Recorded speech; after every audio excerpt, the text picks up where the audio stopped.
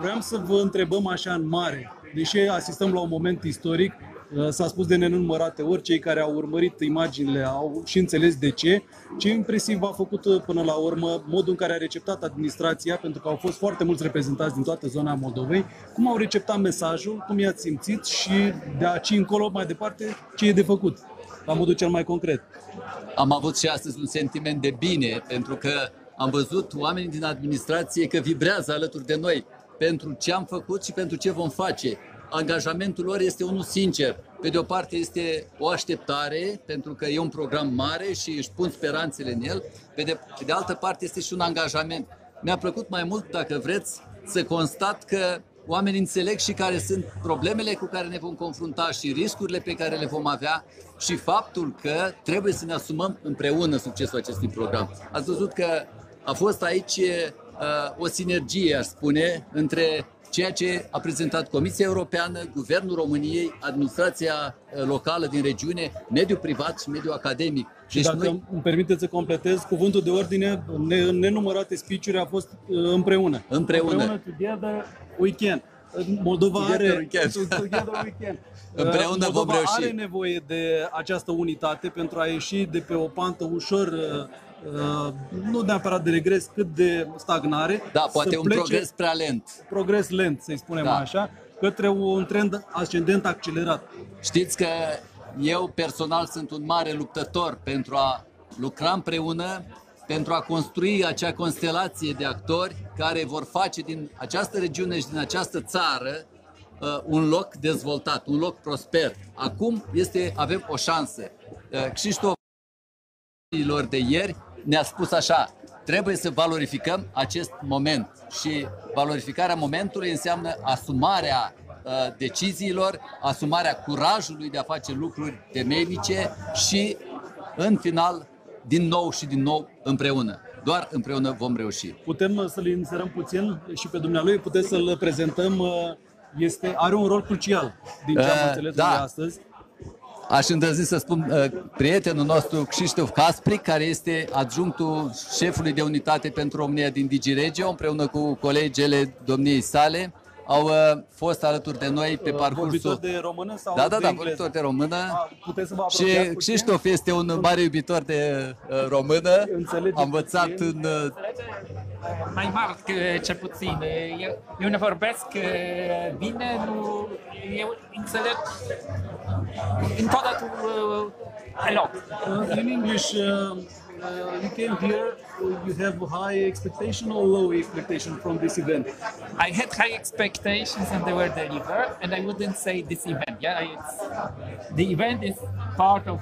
I have a high expectations for the program. Yeah, so course. and they are kind of built the expectations because of the conversation we had over this month, which was extremely useful. It was not. We have some time. Somebody said, one of the mayors, that, we are fighting against time. I think that we use this time effectively. Yeah, so in sense we are there, we fix certain rules, we decided together what, what is need to be done to make it simpler. So I have high expectations. I had high expectations. I continue to have them. So I am not. Uh, I am persuaded more and more that there is really no challenge that this amount of money would be spent, even if it's unprecedented.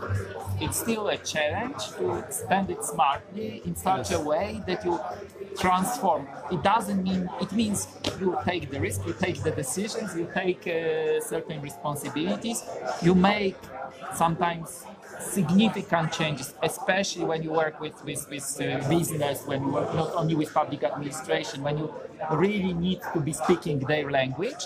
And I think this region is a perfect example. Ruby Cup, where we are here, is a perfect example that this logic is already here. So it might be first time we have the regional program, but this region already distinguished itself by kind of being creating, thinking about this in a very structural, systemic way. And it already shows in Romanian context. So Ruby Hub started here. It benefited from support from World Bank and then we work with them very well. It was almost a perfect example of how region used the support rather than support was using the region. And on as the result of this, now in the national program, we would have raw startup with a big sign here in the Rubik Hub, which would build on this experience, build something Romanian-wide which would support them different regions. So because I knew already about this specific, I have really high expectations, I, and I really, I, I wouldn't, I say more than hope, I'm really trusting that it can be delivered. Yeah. Of course, there will be challenges.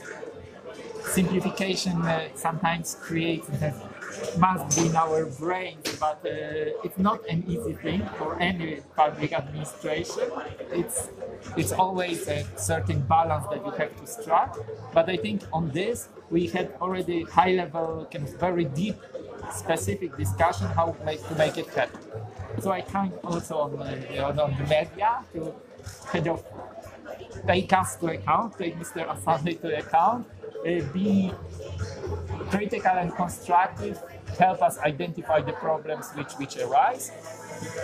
We, we've seen also in the discussion that the, the, the whole process is transparent, meaning that we work together in Preuna in, in, a, in a genuine well, uh, way of Pentru doing binele it. general, exact. So, Da, thank you very much for your support and for uh, your message. Yeah. Uh, Domnule director, mi-a atras atenția ce a spus domnul Curaj.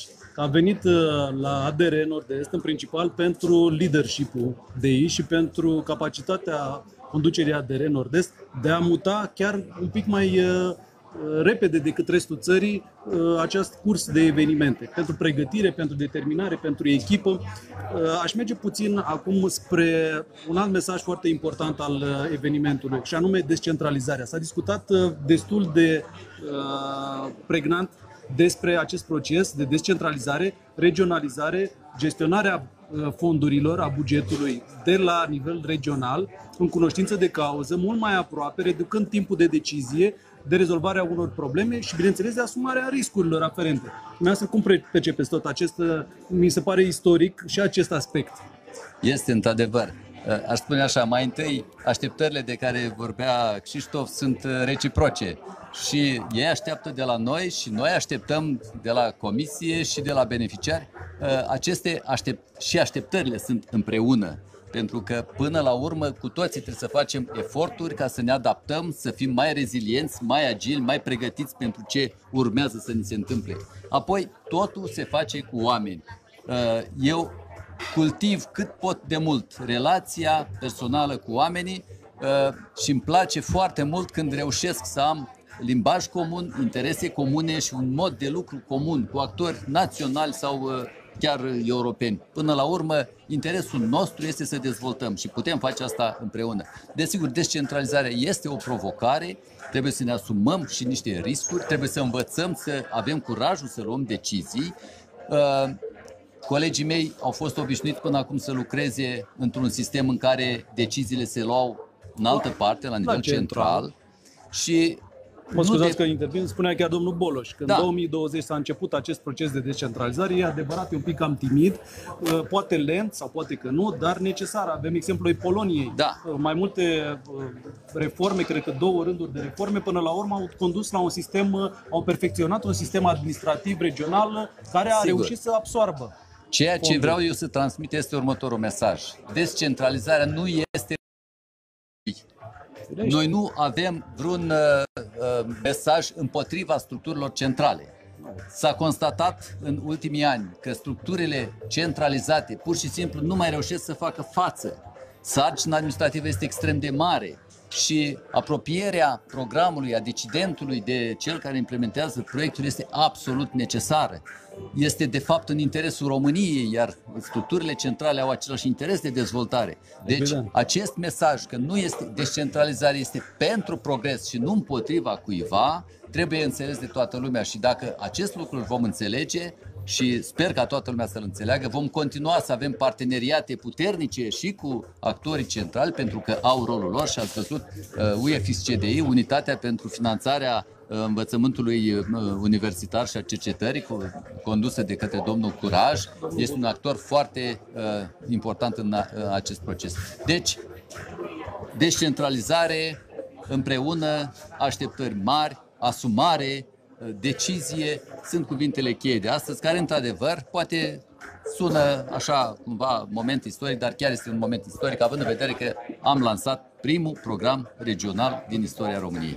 Așa este, noi vă mulțumim mult, vă urăm mult succes, uh, o bună colaborare atât la nivel uh, internațional cu Bruselul, cu Bucureștiul, care sunt convins că până la urmă va da tot sprijinul și bineînțeles cu cei care contează, cu la firul ierbii, primari, administrații, uh, consilii județene care sunt până la urmă beneficiari. Și pe de altă parte, desigur, vorbim și de mediul de afaceri. Sigur, sigur că da, mulțumim foarte Dacă mult.